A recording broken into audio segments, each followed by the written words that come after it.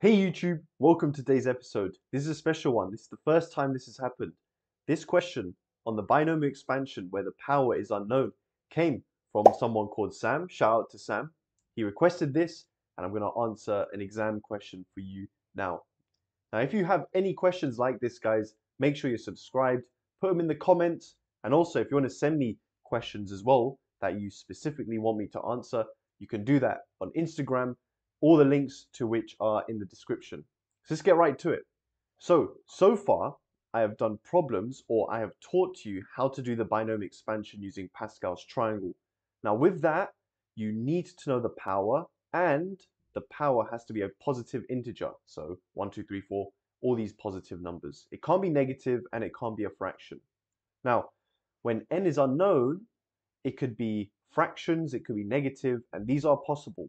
But to utilize that, we need to use the general binomial expansion, the infinite expansion, which is 1 plus nx plus n, minus 1 over 2 factorial x squared, n, n minus 1, n minus 2 over 3 factorial x cubed, and it keeps going on forever. Maybe you can see the pattern.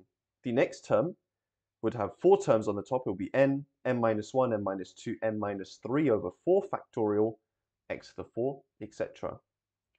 Now there's only one formula that you need to remember and that's this one. And you can use it when n is a positive integer. It's just less used. We prefer to use the n choose method. So what does this question say? It says in the series expansion of 1 plus ax to the power of n, the coefficient of x is 15 and the coefficients of x squared and x cubed are equal given that n is not a positive integer, show that a has to be 6. So we are looking at the expansion for 1 plus a x to the power of n. So how does that change? Well, wherever you see x, we're going to replace it with ax, just like when we did it uh, with the uh, choose method. So it'll be 1. Now n is the power, so it'll be n. x is now changing to ax, and then we have n n minus 1. 2 factorial, remember 2 factorial just means 2 times 1, I'm just going to say 2. x squared, but it's ax squared. And we have n, n minus 1, n minus 2. 3 factorial means 3 times 2 times 1, which is 6. And then we have ax cubed. And now we just need to simplify. So we have 1 plus nax plus n, n minus 1. Now here you have a squared x squared. I'm going to write a squared as part of this fraction and then x squared because then we can explicitly see what the coefficients are of each term.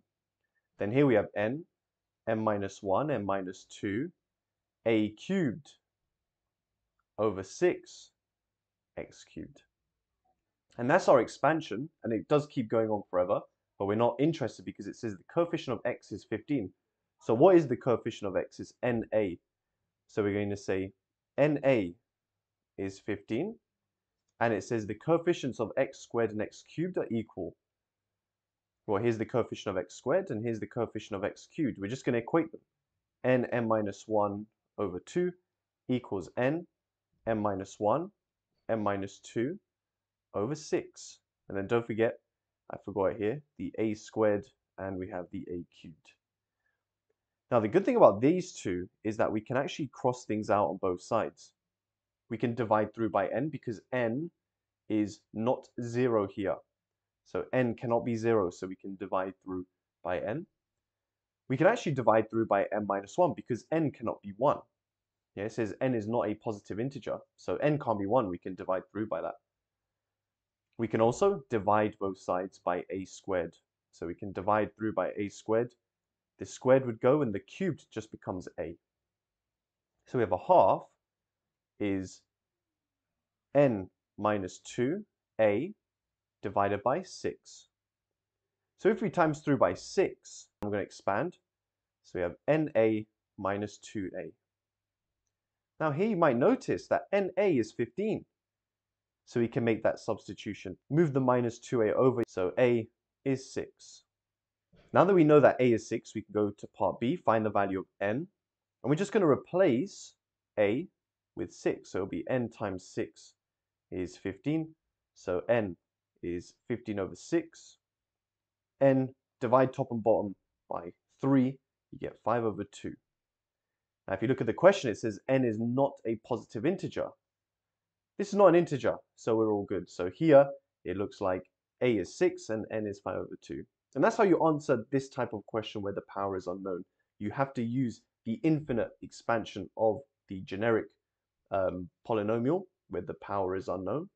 So like I said, guys, if you learned something, please hit that like button and subscribe for more maths content. And you could submit questions that you want me to answer. You just do that in the comment section. Or if you want to take a picture, you can screenshot it, send it to me on Instagram. My Instagram is Neil Does Maths. Or if you just want to click through on the description, I have everything in my Linktree. So that's it for now, guys. And I look forward to seeing you in my next video. Peace.